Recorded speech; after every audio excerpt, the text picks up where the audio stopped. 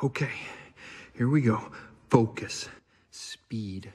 I am speed. One winner, 42 losers. I eat losers for breakfast. Breakfast? Maybe I should have had breakfast. A little brekkie could be good for me. No, no, no, stay focused. Speed.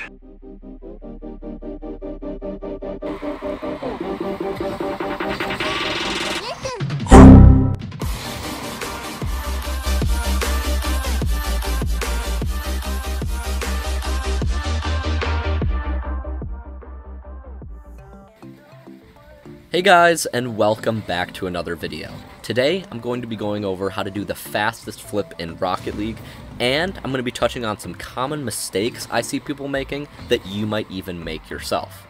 Now, I wanted to talk about speed flipping because I was in some threes games last week with some pretty high ranked GC players, and I was noticing how much trouble I had keeping up with their kickoffs.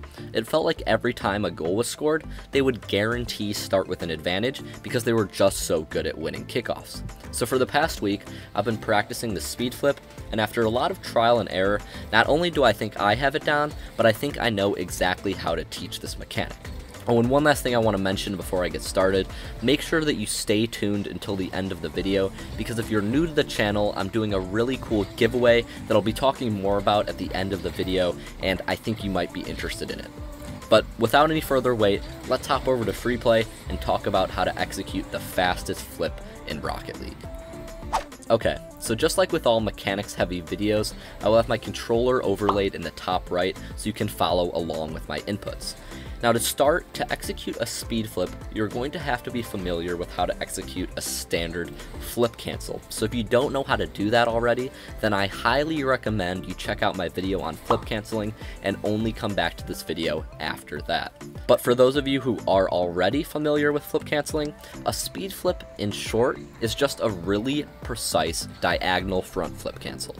The thing about speed flipping though, unlike a half flip where you also are flip canceling, the flip cancel motion you use in a speed flip has to be almost instantaneous. And that's what separates the speed flip from a half flip, because whereas in a half flip, you want to hold down your joystick in the canceling direction, with a speed flip, you only want to cancel your flip for a very brief second. The second thing you need to know in order to do a speed flip is that to get the fastest flip, you need to flip cancel in the complete opposite direction you initially dodge. So in other words, you need to move your joystick 180 degrees from the position you initiate your flip. The third and last thing you need to know to execute a proper speed flip has to do with air rolling. Since the flip cancel won't completely return your car to its initial position, you want to air roll in the direction you dodge to complete the speed flip. So if you're flipping left, you need to air roll left at the end to correct your car path, and same thing if you're flipping right, just air roll right. Now I recommend practicing this motion on your own for a while without boost, without doing anything else, just so that you can get the muscle memory completely locked in, because it's definitely going to take a little bit of time for this motion to feel natural. Once you are comfortable with executing this motion though, the way you're really going to make this flip fast is by incorporating boost and power sliding. For those of you who don't know, drifting or power sliding is not only good for changing directions, it's actually also really good for recoveries and maintaining your momentum. So when you're speed flipping, even though it might not look like it, you're actually still flipping diagonally. So to minimize the amount of speed loss on your landing, you're going to want to hold down your drift button as you land. Now this might take a while to get used to, especially on kickoffs, which is why it's really important to take this step by step and make sure you first get that speed flip cancel part down, and then only after that should you start incorporating drifting. Once you have those two things down though, the last thing I want to touch on is why the speed flip is actually so fast, and that is in part due to boosting. You see, when you speed flip, unlike a normal forward dodge or diagonal front flip, if you do it right, the nose of your car should always be pointing forward. That means you can hold down boost the entire duration of the flip to constantly be accelerating forward. This is what really gives the speed flip an edge on kickoffs, because you're going to be arriving at the ball so much quicker than your opponent if you can get that extra half second of being able to boost. Now if you put all this together properly, you should be able to execute a perfect speed flip. The number one piece of advice I can give, if any of this is still not clicking for you, is just going to be to practice, because this is a very mechanics heavy movement, and you need to just get that muscle memory down in order for it to start clicking. But if after practicing you still can't seem to get the speed flip down, then this is the part of the video where we can try to correct that. So now I'm going to go over some common mistakes when speed flipping that I even made when I was learning the mechanic myself. If you think you've got it down though, feel free to skip ahead to the next part of the video where I go over how to use the speed flip at each kickoff position. Starting with the mistakes, mistake number one is not flip canceling in the complete opposite direction you initiate your flip. For example, if you're trying to speed flip to the right and you flip cancel by pulling your joystick down and to the right instead of down and to the left, you risk your car hitting the ground halfway through the flip, and that bumping will slow you down. So if this seems like your issue, make sure to flip cancel in the complete opposite direction after you initiate that first dodge. Mistake number two is holding down the flip cancel too long. If you flip cancel for too long, your speed flip might start to look like a forwards half flip, and you risk actually turning your car completely around if you hold that cancel down too long, which is obviously not what we're going for here.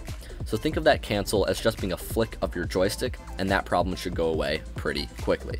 The final mistake, mistake number three, is not actually diagonally dodging in the first place. When you speed flip, you want to be as close to front flipping as you can be, without actually just flipping directly forward. And the reason I say that is because if you pull even just a little bit too far to the left or to the right during that first dodge, you might actually just do a barrel roll instead of speed flipping. So if you're noticing your car moving too much to the left or to the right, make sure you aren't just barrel rolling and are actually dodging diagonally forward and then flip canceling afterwards. Okay, that is all for common mistakes I see. The last thing I want to go over though is how to execute the speed flip from different spawning positions.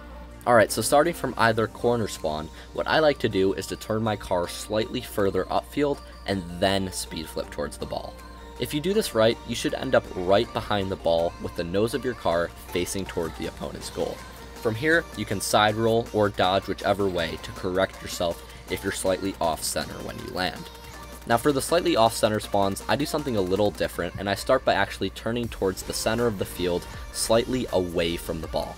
This allows me to drive forward a small amount, and then right after I grab that first boost pad, I speed flip to the ball and 50-50 from there.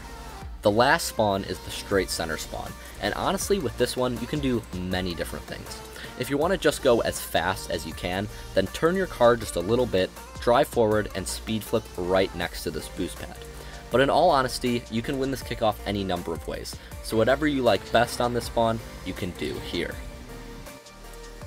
Alright guys, that is going to wrap things up on all the different spawning positions, and really that is all you need to know on how to speed flip. While this wasn't necessarily a complete kickoff tutorial, hopefully this helped you all improve your kickoff game, and if it did, please let me know if a complete kickoff tutorial sounds interesting. Before this video ends though, I wanted to talk a little bit about that giveaway I mentioned earlier. So for those of you who don't know, I'm going to be going through my Rocket League videos and selecting a random commenter at the end of every month for the next year. If you get picked, I'll coach you an unlimited amount of times until you reach Grand Champion rank in Rocket League. That's right, I'm going to take on 12 different people and I'm going to continuously coach them on my Discord until they all hit Grand Champion rank in Rocket League. So if that sounds like something you might be interested in, just leave a comment below with your Rocket League rank and you'll be entered for every unique video you comment on. Anyways though guys, that is about all for this one, so if you did find this video helpful, all I ask is that you leave a like and subscribe if you haven't already. These videos take me so many hours to make, so I'd really appreciate it if you could all do that. That's all I've got though, so thanks so much for watching, and I'll see you all in the next one.